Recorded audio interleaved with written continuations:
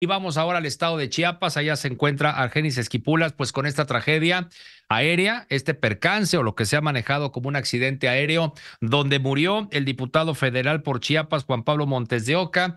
Tú tienes la información. Adelante, Argenis Esquipulas, platícanos, porque pues eh, murieron pues ahí integrantes de la familia, no solamente el diputado, sino también sus familiares. Muy buenas tardes. Muy buenas tardes, Gregorio, para comentarte que el saldo total hasta estos momentos que se ha dado a conocer son de ocho personas que murieron en este eh, pues accidente, eh, bueno, así eh, llamarlo, ya que primer pues, información preliminar es que la avioneta donde viajaba Juan Pablo Montes de Oca, diputado federal con licencia del Partido Verde y coordinador operador político del candidato a la gobernatura de Chiapas, Eduardo Ramírez Aguilar, pues falleció la, mar, la tarde del jueves cuando se desplomó esta avioneta que viajaba rumbo al aeropuerto internacional de Palenque. Eh, lamentable noticia fue confirmada por el propio Eduardo Ramírez Aguilar a través de su cuenta X o de Twitter, donde eh, detalló que el legislador perdió la vida, al igual que su esposa e hijos, y también, pues, el piloto de 22 años de edad. De acuerdo con los primeros reportes, el accidente ocurrió alrededor de las 3 de la tarde de ayer jueves y luego de que esta eh, avioneta despegara de Tuxtla Gutiérrez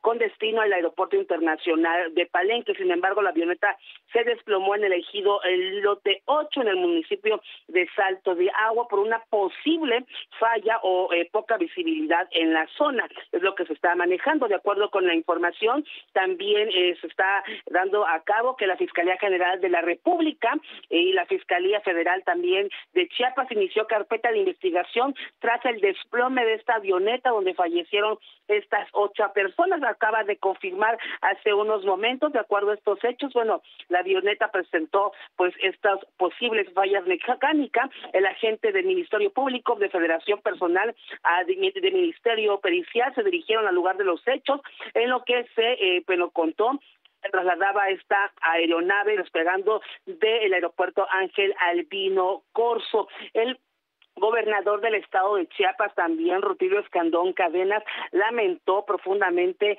la pérdida, eh, la muerte de estas ocho personas, juntamente también con el piloto, el capitán en piloto de esta nave. Aún todavía se está investigando por parte de la Fiscalía General de la República qué es lo que ocurrió en este accidente. Cabe mencionar que eh, pues eh, Juan Pablo Montes de Oca se encontraba ya en el estado de Chiapas porque iba a estar presente en lo que es el arranque de campaña del día domingo del candidato por el partido Morena Eduardo Ramírez Aguilar a la gobernatura del estado de Chiapas.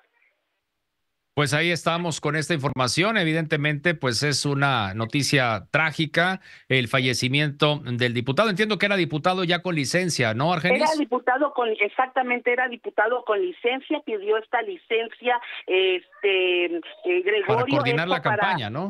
Para exactamente, para estar en la campaña como coordinador de operación política. Fíjate nada más, qué, qué, desgracia. Y pues ahí los familiares, el piloto bastante joven también, ocho personas en total eh, por este percance aéreo, eh, del cual pues sabremos de, conocer ya eh, la, la investigación que decías ha sido atraída por la Fiscalía General de la República.